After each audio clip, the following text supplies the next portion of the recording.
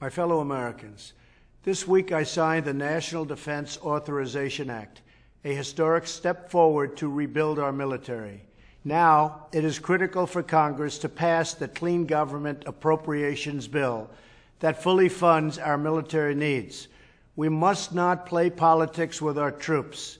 We should pass a clean funding bill and leave the politics aside. We must protect our nation. I'd also like to take a moment today to discuss our immigration system and how we can reform it to make it work for everyday Americans. Our current immigration system helps special interests but hurts American workers, taxpayers, and national security. For decades now, U.S. immigration rules have been based on an outdated system known as chain migration. Under chain migration, foreign nationals can come to the United States and bring in unlimited numbers of foreign relatives. A single immigrant can begin a chain that could ultimately bring in dozens of increasingly distant relations.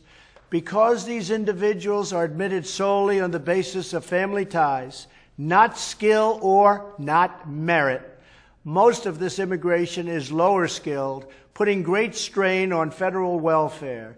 And because there is no real selection criteria, the current system is totally incompatible with national security.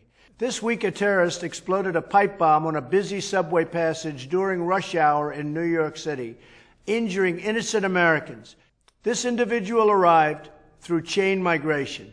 In October, another terrorist drove a truck into pedestrians and cyclists in New York City, killing eight people and wounding many others.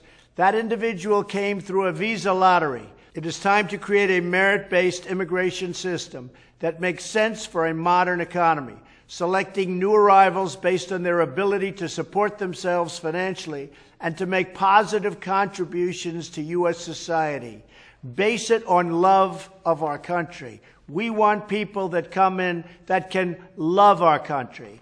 This process begins with Congress passing a bill to end chain migration and also end the visa lottery.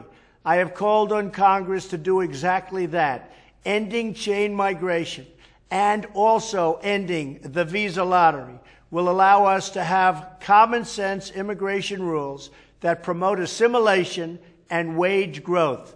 It also promotes, most importantly, safety. It'll help Americans, both old and new, to thrive, flourish, and prosper. Thank you, and God bless America.